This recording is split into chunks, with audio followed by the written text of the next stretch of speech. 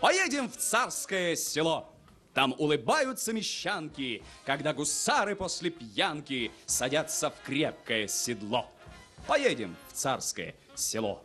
Казармы, парки и дворцы, а на деревьях клочья ваты, и грянут здравие раскаты на крик «Здорово, молодцы!»